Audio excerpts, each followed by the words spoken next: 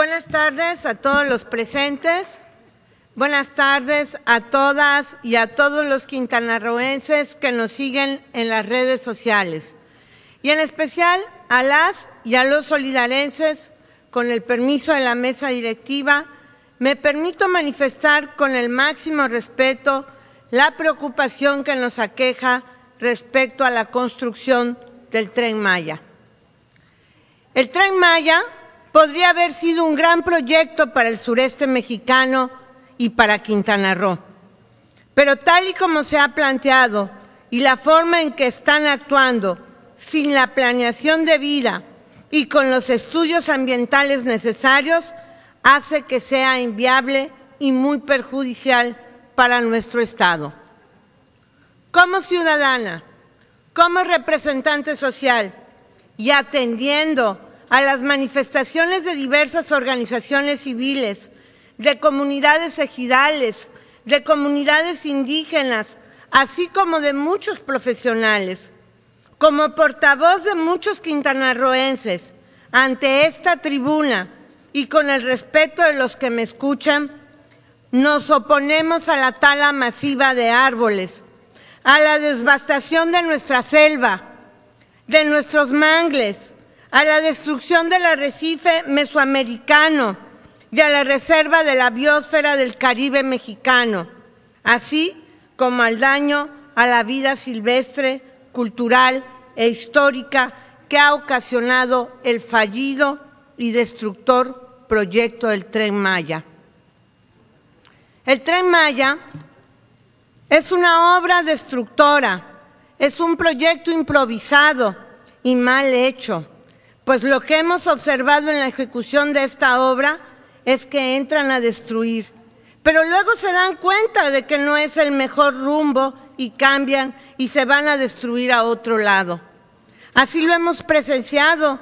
como unos tantos ejemplos que tenemos y uno muy cercano a nosotros es el centro urbano de Playa del Carmen, en el cual después de gastarse más de 500 millones de pesos, se percataron que tenían grandes problemas en su ejecución.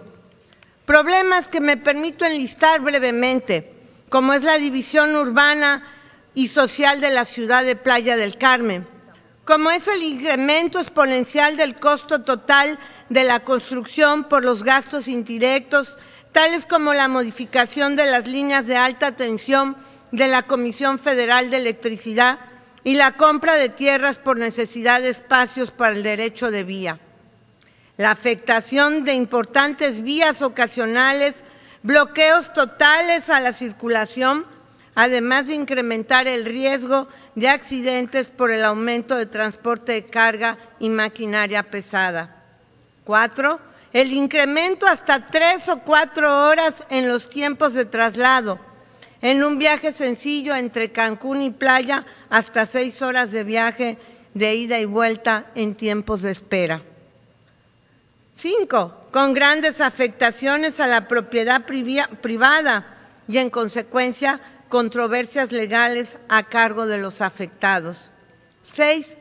la más, la más dolorosa para todos, la pérdida de más de 20 mil árboles y grandes afectaciones a nuestra selva, a nuestros ríos subterráneos, a nuestros cenotes, entre otras. Ante este escenario, sin más estudios, sin escuchar a los expertos, sin hacer un trabajo coordinado, sin escuchar a los ciudadanos, de nuevo se publica el 2 de marzo de este año el nuevo trazo del tren Maya, para evitar el paso por el centro de Playa del Carmen, y por lo que se sabe, hasta el momento se ha desbastado selva virgen a lo largo de 120 kilómetros sin que existan los permisos ambientales, a pesar de los que ya se han talado a ser más de 20 mil árboles en la primera ruta.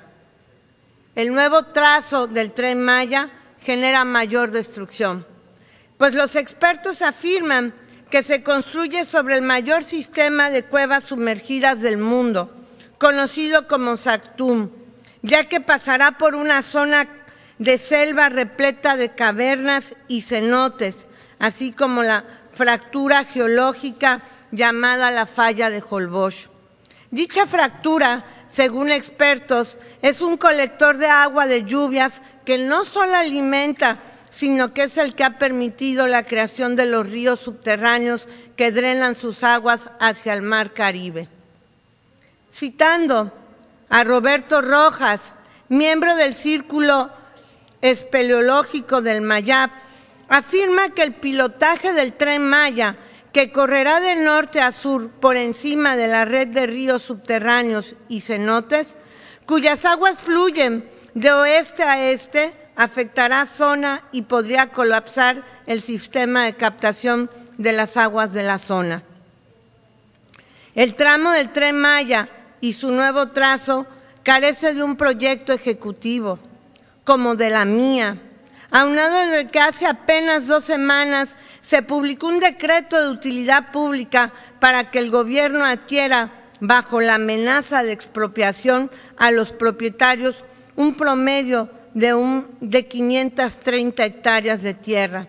de los cuales ya existen recursos legales y de los cuales tampoco existen los estudios técnicos previos ni las autorizaciones. Así las cosas, por donde se vea, el tren Maya es el claro ejemplo de una caprichosa, carente planeación y que lejos de traer bienestar, ya genera procesos de deterioro ambiental a gran escala, impactos ambientales y sociales, desde cambios de uso de suelo, depredación de áreas verdes, afectación a la fauna local, aumento en la movilidad, aumento de los usos de recursos naturales, problemas de abastecimiento de agua, problemas legales. Todas estas afectaciones significan la latente pérdida de nuestro destino turístico, de nuestras fuentes de ingreso y a la calidad de la vida de los quintanarroenses.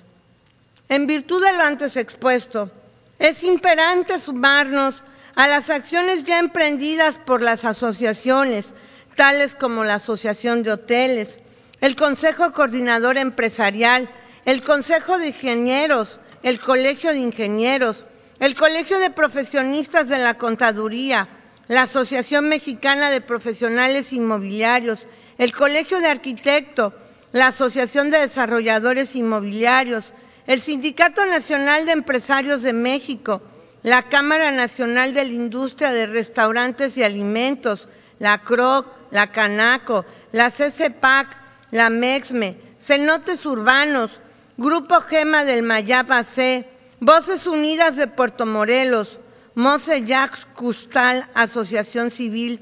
Jaguar Wildlife Center, Siempre Unidas, Red de Formadores Socioambientales, Asociación de Prestadores de Servicios, Acuáticos de la Riviera Maya S.A., SC, Ismatica Logo, Movilidad y Desarrollo de México,